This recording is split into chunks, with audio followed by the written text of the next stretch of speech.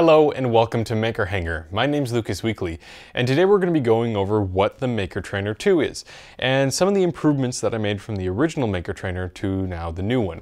I'll also be showing you what's going to be inside of the kit, so let's get started.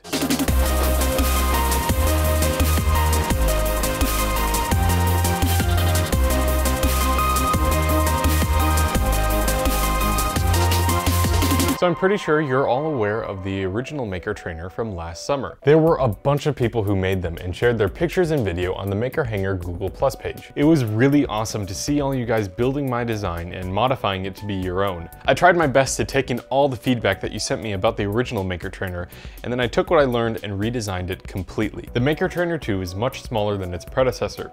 With a wingspan of only 30 inches, it can be cut out of two sheets of foam board. Because the plane is lighter, it can fly slower. This gives you more more time to react when flying the airplane. Also, because of the smaller form factor, the plane is incredibly durable.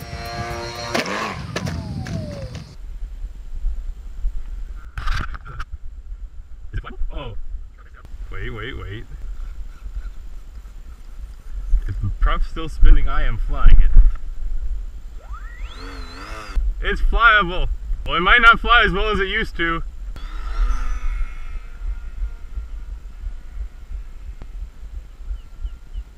I still wanted to keep the motor in the back, so if you did take a nosedive into the ground, the motor would be protected. This gives the additional feature of having an unobstructed nose for mounting a camera and for flying FPV. Where I had the most room to improve was in the construction of the Maker Trainer. Don't get me wrong, the original Maker Trainer is still a great airplane. It flies really well in the wind and can glide forever with the power off. Okay, to start off, this plane is entirely made out of foam. There is no wood or carbon supports needed. Some people were having a hard time finding the correct wooden dowel rod for the tail boom and either making it too short or too long, which would completely throw off the balance of the airplane. Also, the plane can be made with other types of foam. This was heavily requested by all the people who are building the Maker Trainer in other countries, where they don't have access to the Adams Readi-Board that we use here in the US. We're staying clear of the covering covering tape in this season because it added a ton of time to the build on the previous Maker Trainer. Instead, I'll be showing you how to properly paint a foam airplane so you can make really cool and colorful designs. The PDF plans for this year cover everything, so there is not a part where you have to go and watch the videos and interpret what I'm saying to be successful